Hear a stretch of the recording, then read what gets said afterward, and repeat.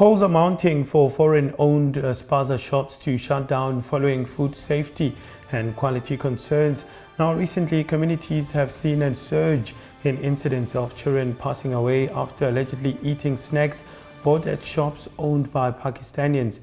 One of the incidents happened in our backyard here in Naledi in Soweto, where two four-year-old boys died after allegedly consuming biscuits bought at one of the foreign-owned shops.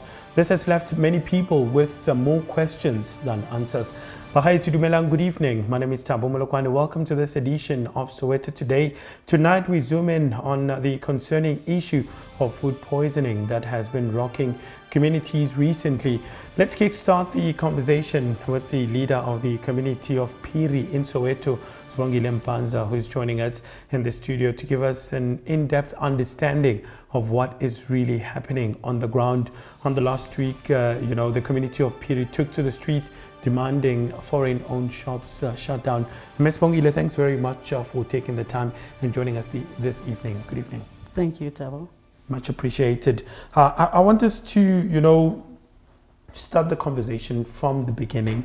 I mean, you've been on the ground with the families uh, that have seen the deaths of their children from, you know, supposedly food poisoning, as they call it. Firstly, I want to ask you what is your response, you know, to this outbreak, if I may put it that way, as a community leader and as Umzali? Uh, Mina, my take in this is that this is not a, a coincidence. It, uh, it is a, it's an accident that was waiting to happen, given the histories of the spaza shops we have around our areas. Mm. The, the, the, the, the, the state of, uh, how can I say, cleanliness of mm. first, when you go into the shop, the first thing you see, you see, who do you see? Dumu, who do you see? Boroto. You know, there's no, there's no order at all. There is no order. Even the people that are going to serve you, you look at them, you can see, these people's hair can tell. Mm. You can see your Mutuazi with you. And that person runs the shop and who serve uh, the community of that part because our, our, our, our, area is big. Kopantle one. Mm-hmm. So if one spaza shop is here, it serves about the, the people who are so.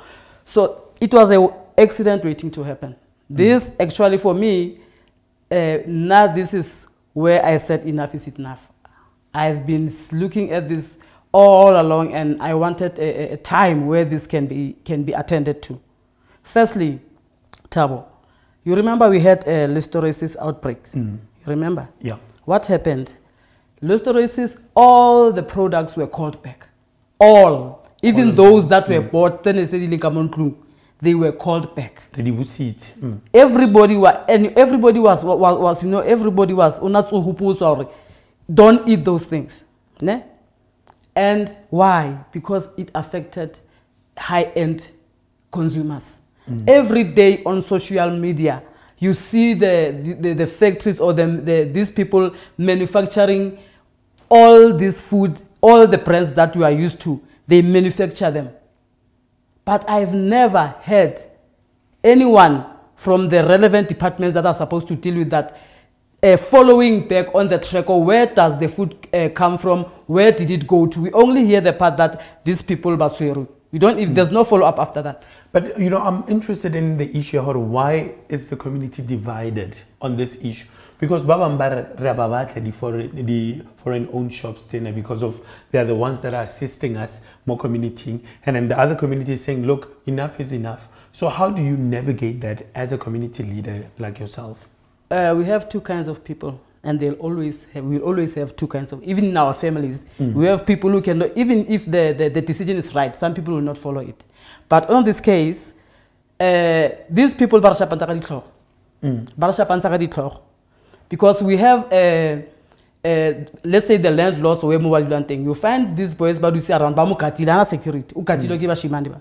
So these boys, they benefit from him. And maybe the landlords also benefit from him. Mm. So he already has a, a, a, a, a support, a support already. Mm. So you remember uh, uh, the landlords have their friends and their friends. But mm. this, I think those that are against this, don't have a lot to, to, to worry about the way we, as people who care about the community, have. So for them, is balla ka hore ba re kolotisetsa. Mm. So I'm asking then, sekoloto, is it bigger than your child? Does it have to be your child before o bona hore eh, eh, these people are not treating us? Number two, ntho nngwe hape ke sa rateng ya bona. These people, uh, given the history ya, ya, ya, ya, ya home affairs, i- i- i- it's, i- i- i- it's, a, it's a known fact. Home affairs is, cor- is corrupt. So any person holding a asylum or a passport or a visa of any sort in our area is questionable. Mm. So that, that, that leads to a point that even if they were, these people were, were, were, were, were, were, legal or whatever, Rona is our economy. Mm. It is our economy. It's a township in Uko. Whoever brought them there didn't notify us as a, as, as a community. No one respected us enough and say, guys, there are people going to open businesses in your townships. You wake up every morning, there's a spaza shop there. Who are you? A, a, a, king, what do you call this? Container there, mm. container there. Nobody. Now, because we are taking action, we have to call them. We are supposed to act. Uh, we, are, uh, uh, we are supposed to be what we call. I don't know the English word that I can use, but we are supposed to be le, le comply. We must comply. Rona ke rona tshwanetse re re gumamele these people. When there's no one even from the authorities ba ne ba tshwanetse gore guys there are people who come into your into your community to and i, I understand the asylum is is is is, uh, is, a, is a paper that gives you a, a refuge when you are running away from war whatever the reason is the reason is but i don't know of any asylum that gives a person right to operate a business In the interest of time, because I have to let you go soon, um, I'm- I, I, I mean, now the, the, the matter is under police investigation, we know. Uh, but, uh, I mean, what needs to happen? Are you saying that uh, these foreign nationals must go? Or what is the issue currently now? And then also, do you think that government is doing enough? Because you are saying that, look, they are now just coming because of an incident has happened. What needs to happen in your community? the community of South Africans must take back their economy. This is the time. This is the time we take back our economy in our townships. Let these people go because I don't think they are 100% uh, legal in whatever they do, even in their documentation, even in the, in the operating of, of, of shops in our community. So that is questionable because the current the government that we have is known to be like that. So I can't go much into that. But Rona, really community appear. Today we had a meeting where the, the, the community signed a petition that they don't want, uh, not, not the, the, the, the, the, the, the mandate, or I, I don't know if I could call it a mandate, but the, the reasons of the petition was that before all the relevant uh, officials, government officials have done their jobs in those spaza shops. Your environmental health, your whatever, all that Health and needs, safety, that all, all all, they need. And according to, to, to, to, the, to the regulations of opening a tuck shop, there is a lot of things that uh, we, we, we had a meeting with a, uh, the lady from the environmental health. Yeah. And according to all the, the, the requirements that she said, none of these people I've seen access, none of them. They don't tick the boxes. I speak about one already, just one. And the, the state of the, of, the, of the business, the structure. It's hot there. Who do you see when I'm Who do you see when I, eh, eh, you know, when you get there. So, uh, uh, uh, even while they're still, they are busy uh, doing that, we are taking back our economy. And we are not going to allow any foreign person to run and operate a business in our area. It is our decision and agreement as a community that we are taking back what belongs to us. Mam Swangile, thank you for joining us. I wish I could have you for the rest of the show, but uh, thanks for giving us a breakdown of this disturbing issue. I hope that uh, government will accede to your demands, and then uh, you know you will be able to deal with the issues that are happening in your community. Much appreciated for coming this evening. Thank you. That was uh, Ms. Bongile Mpanza, who is the leader of the community of Phiri in Soweto, helping us understand the issue of food poisoning that has been affecting a lot of communities. This story has many legs on it, and you know, after the ad break, we hear from the Gauteng Spaza Shop and Landlord Forum. From now, uh, don't miss anything. Do stay with us. We're coming back after this. Welcome back. You're still tuning in to Soweto Today with myself, Thabo Molokwane. Thank you for choosing to stay with us. If you've just tuned in, before the ad break, we heard from uh, Phiri community leaders, Bongile Mpanza, on the recent upsurge of the alleged contaminated food from foreign-owned tuck shops, which have brewed cases of deaths among children in the country's townships.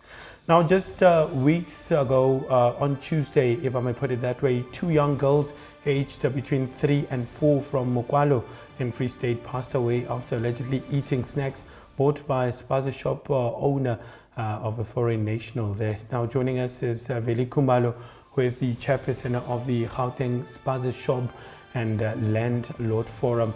He's here to give us uh, the forum's stance on the issue of food poisoning. Uh, uh, Mr. Khumalo, thanks very much for joining us this evening. Welcome to the show. Sibonga Yeah, Nyabonga. I just want us to start um, by maybe you telling us what Gauteng uh, Spaza Shop and Landlord Forum is, and you know, just to maybe uh, like uh, what are your objectives as an organization? Oh, ihashule Gauteng Spaza Shop and Landlord Forum. Iforum emela laba abanamashop nabo ma-stand. Asibandlululi ukuthi uphuma phi siyakumela uyaba iclient yethu uphuma ngaphandle wala ekhaya anyone is welcome as long urana i-tuck shop siyak- siyakumela nawe we are the voice of mastend we are the voice of tuck shop owners yebo So do you have a database as an organization ukuthi Yeah. uh, how, many, shops, do you yes have? yeah we have we have a database uh, in Soweto the whole Soweto we got uh, 4000 tuck shops around Soweto Mm. yeah So what qualifies a person? You know, if maybe mina ngifuna ukuvula i-tuck shop, then, what happens? Do I need a certificate in order to open a tuck shop, or maybe I need some sort of a document? yeah certificate fanele uya uya apply kune mahlala njengase uhlala ngathi eJabulani mm. eJabulani uya e UBC fanele kuye e-UBC uyo apply khona ube ube ne uregister futhi ube ne certificate ukuthi wena ufuna ukurana ini ke lapho. Yeah. You must comply eh, awukha- awuka- akufanelanga nje over nothi eh, so so akhe shop sengenza ishop ngivula ishop. Eh, ku- kunama kunemigomo kufanele kuyilandelele. Yeah. But it, it, it- I mean, it happens that someone uh, was next door might just decide ukuthi namhlanje ngizoyivula i-shop. So what happens to those people that just randomly just decides ukuthi mina namhlanje ngizoyivula i-shop? eh lapho sine that's why sithi eh sibe ne ne- ne- kusho ama tuck shop maningi la eSoweto walabo kufika abantu bethu ama ama tuck shop awo a few yabo? Yeah. Ah, the most ama client ethu eh ilabo kufika ilaba ngaphandle that's why sipush ukuthi kufanele ba comply napho yabona? Eh makuzoba kanjalo. Eh kuzoba inkinga vele ukuthi uzobe unga- ungasalandelanga umthetho. So uzenzele nje ngoba fanele ube ne, plan. Before i, structure sim kwamele kube ne plan. Ba check because uzothi uyakha lapha yana awuyange officeini kanti kuhamba ama pipe amanzi lapha yabona bese idala manje sayenzeki lento ngesikhathi sakudala kade uma ngabe uyenza ama room in most cases uma ubhidla ama room thola ukuthi awuyanga ka- eh, e-office uyo report Ma- ma- ba- ba- ama inspector mafika mathi check ukuthi hey man wakhe endaweni wrong gijima ama pipe kade ba- ba- le- leyo building kade nje iwiswa but manje angithi democracy sokushintshile akusafani nakudala uyabona? Yebo Uh, manje eh, ngifuna ukuthi sikhulume ngale ndaba. Like we saw we saw um, children dying because of uh, you know consuming allegedly uh, food that has been either uh, has caused food poisoning for them because currently now asiyazi ukuthi kwenzakaleni so i want to get a stance from you guys as an iforum ukuthi when you heard of what happened what was the reaction from the forum itself? eh iyasiphatha kabuhlungu leyo nto leyo ukuthi nazi ingane eh sezishile wabona eh e- eh enality sesa enality sa eh, engage eh na na noma stand futhi ne family the way kwenzeke ngakhona saba nesinqumo sokuthi laba angeke si- sibathwesa icala kakhulu because nabo lamakhekhe abuya somewhere. Yini efanele siyenze? We must thina siyi-forum fanele si- si- siyilandelele lento because kade simele i- i-subsi ne-report ukuthi what the cause of death. Njengoba kutholakala ukuthi eh, eh, food poisoning. Yabona eh food poisoning ilento le wona lamakhekhe abuya khona. Sithole ireport eh ebuya ku banelab yabo. Yabo asazi ku- government ukuthi yona i- i- i- government izothini. But ku lab yabo eh mangithola ngeke ngathola i- udokotela. Yeah. yeah basendela ilento le i-report Yeah. Udokotela makayichaza le report lena eh bathi kade babheka ama Like, I mean, the doctor, I mean, one of the uh, interviews, Yeah. Engibonile, uh, Yeah. the doctor was saying that uh, there might be traces of poison. Yes. Either um, the, the, the children maybe uh, either, I mean, got contaminated, their hands got contaminated from somewhere else, or either it's a poison that's coming from the surroundings, either where they bought uh, those things. So they, the, the, the information is a bit inconclusive Yeah. at this stage because there hasn't been any proper uh, explanation of Uguti. Is it food poisoning or just poison, poison in general? Yeah. But I just but wanted to. eh yeah. but kule report yabo kunama eh kade ba check ama bacteria ngithi Yeah. i5 tholakale only two eh eh, ama bacteria lawo small yeah that's why bathi basazoyidlulisa ne government fanele ingenelele yabona Yeah. Yeah. Just lastly, before I let you go, I mean, you're saying that you represent the spaza shops Shop, uh, and, and, then uh, landlords for- and, and stuff. I, I want to understand then how do you make sure that your clients sell proper food to the people? Because we're seeing instances uh, in townships, Uguti, it's either uh, Ugutla ugu expirile Yeah. or something like that. How do you deal with your people? ya kade siya kuma-shop sibheka kwamanye ama-shop ukuthi nje yabona eh maningi wona yabona kade siyasi-check-a but asange sayiqeda leyo project ya- yabona yasuspendwa ngendlela yabona but manje into engiyijabulelayo i-government i- i- is- ingenelele Yeah. Health ama-inspectors health inspectors JMPD yabona seyiqalile i-operation. Into ebangijabulisa angithi uma bayenze i-operation yabo aba- abasho ukuthi baza kuphi. Sizwa sebathi sebakhona. Ya understand? Njengoba nasenaleli bangenile bayacheck asazi ukuthi eh, ba- bayongena because babalekani i-government ukuthi mayizosho ukuthi hayi eh, namhlanje sobe i-operation izoba ise erockville obvious thina. Sizo so informa labantu ama client you understand? But the way bayirana ngakhona isystem i-government ingenile noma abantu bangezwe yabona but into engizoyisho futhi eh emphakathini eh umphakathi awuna right ukuthi uye wona lapha uyenze. It's totally wrong. They don't qualify ukuthi uyenze lezo zinto. Kunabantu abaqualify inspectors JMPD yibo abafanele bayenze lawo ma operation yabona? Ama law enforcement angenelele futhi. I understand, Veli, but uh, you know the fact still remains that uh, those people are reactive. They only react if something happens. Yeah. If an incident like that did not happen, we wouldn't have seen inspectors Yeah. coming in because they never come Yeah, to, yeah, to this thing. But, okay, to but I'm- to important unfortunately, we've eh, kunento out of eh, time, eh, uh, important but eh, that's why sithi noma new shop savumelana nawo si si o- si- eh, nabo ne-organization Yeah. ne- ne-forum ukuthi noma new shop because asikhoni ukuwa-controla manje because there are too much spars and i- if ispaza sitholakala ukuthi asicomply kutholakala into ezibolile ezimoshakele ezi-expired that ispaza fanele immediately sivalwe singasa-operate lowo muntu loyo athathele ilicense yakhe eh, Veli Khumalo, thanks very much. I'm going to have to uh, let, it, let you go now. Thanks again for coming in. That's uh, Veli Khumalo, who is the chairperson of the Gauteng Spaza Shop and Landlord Forum, talking to us about the forum's stance on the sudden spike in food poisoning. He is saying that, look, now inspectors are there, but we know, I mean, they are only re reactive to situations like this. I want us to park it there. We're coming back after this. Welcome back. You're still watching Soweto Today. Thank you for choosing to stay with us. My name is Thabo Molokwane.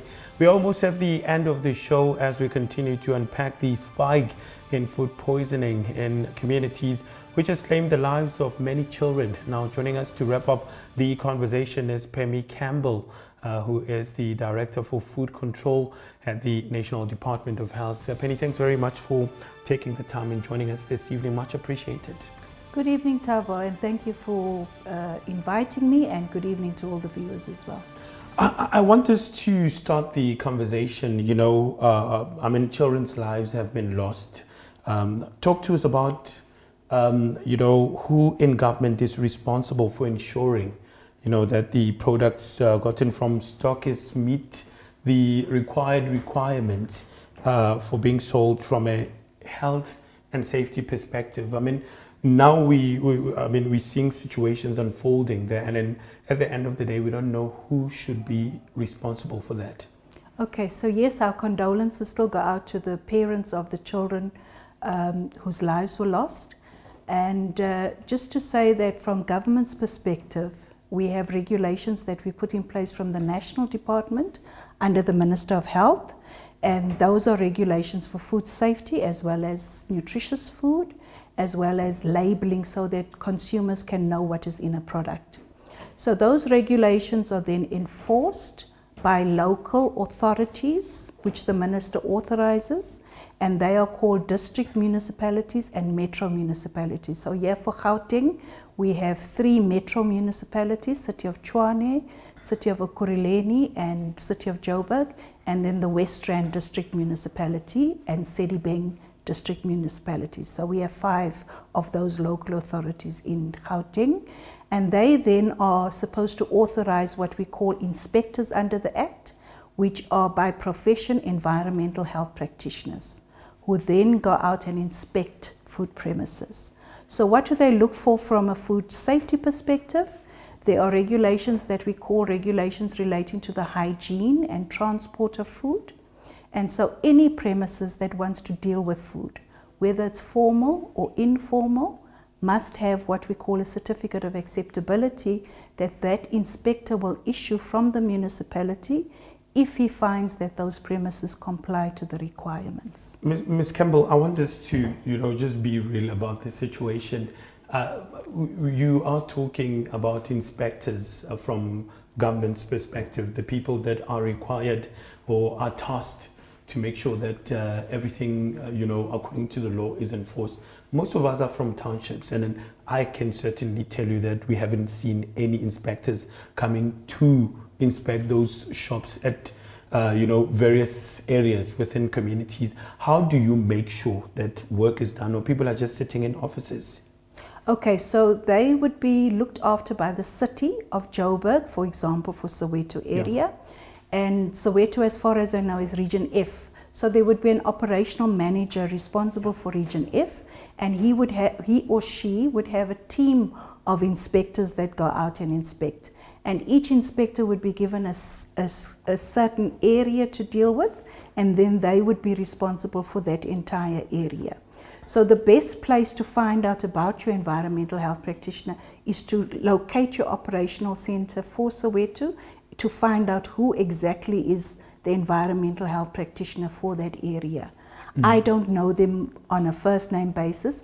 I link up more with the entire director manager to ensure that we communicate on any new legislation or any challenges that they might face. I mean, clearly someone is not uh, doing their jobs because of things are just spiraling out of control. But I want us to move and look at, uh, for instance, if there is a street vendor out there yes. who is not acquainted when it comes to issues of uh, health and safety, how do we make sure as uh, government uh, to make sure that uh, you know there is an initiative to ensure that uh, they are well educated and informed about the food safety and the quality thereof? You know, the informal economy and the township economy has been one of the areas that we thought we needed to develop as a country. And when street food vendors first came onto the scene, we initiated a project to try and ensure that local authorities also take on board the need to embrace that second economy and to equip, equip them with the necessary understanding of what the rules and regulations are. So there's been a project, there's also been various research studies that have looked at whether or not food is safe, also whether or not they have the uh, knowledge about uh, how to prepare food. And in 2010, just before the World Cup, the city of Joburg did extensive training because of the venues being in the city of Joburg, as well as to some extent in the city of Ekurhuleni and the city of Tshwane. And then there was an evaluation of that training that was done on those street food vendors. And about 70 to 80% all knew what they were supposed to do in terms of the five keys to safer food, which is what we call from the World Health Organization the best practices to ensure that we can have safe food out there. And our regulations are also based on those five keys, which is keeping clean, keep, um, separating raw and cooked, keeping food at safe temperatures, and ensuring that food does not cross-contaminate. Mm. Just lastly, before I let you go, is there a way uh, that community members can report uh, food safety concerns or complaints, you know, that they have across communities? I mean, we're seeing a lot of products, it's either they're expired or they're rotten, if I may put it that way. Uh, how can they uh, get in touch with uh, the municipalities, as you said, that uh, you know there are various uh, centers that are actually dealing with that. Yes, usually it's the um, municipality's office. So, for example, wherever you go and pay your electricity and your water, you can get a telephone number from that account, or where you know that the city of, of Joburg has satellite offices, you can go in there to find out where could I find an EHP or the best thing I often tell people of my age, Dr. Google also helps in terms of finding things. Um, so you could just on your smartphone quickly Google environmental health practitioners for City of Joburg and you could possibly find it there. So that's the easiest way to do it. Um, there are also a number of hotlines that people can report, um, especially the illicit types of, of yeah. products. Um, the Consumer Goods Council has a web page that you can report, or you can always check with the manufacturer. They sometimes put their details on a product, and you can call them and, and let them know that there's certain products that are not okay. Um, because it's illicit, it's called counterfeiting, and it falls into another piece of legislation we call the Counterfeit Goods Act, which is looked after by uh, police. So because it's something illegal, something criminal, yeah. and they need to investigate. So you could also go to your local police station and open a case in relation to that. Penny Campbell, thanks very much for taking the time and joining us tonight. Much appreciated. Thank you very much, Thabo. Much appreciated. That was uh, Penny Campbell, who is the Director for Food Control at the Department of Health, helping us understand the government's role in ensuring that members of the public are exposed uh, to safe and good quality food. This as the incidents of food poisoning have been on the rise in communities across the country in recent days. Well, that's how we wrap it up for today's episode of Soweto Today. Remember, we love hearing from you, so please feel free to talk to us about this episode. Send us an email. It's sowetotoday at sowetotv.co.za. Alternatively, you can call or WhatsApp us. The number is 081 531 8857. From myself, Thabo Molokwane, and the rest of the team, Masi Chaba Kobol is up next with your primetime news. Good evening and thank you for watching.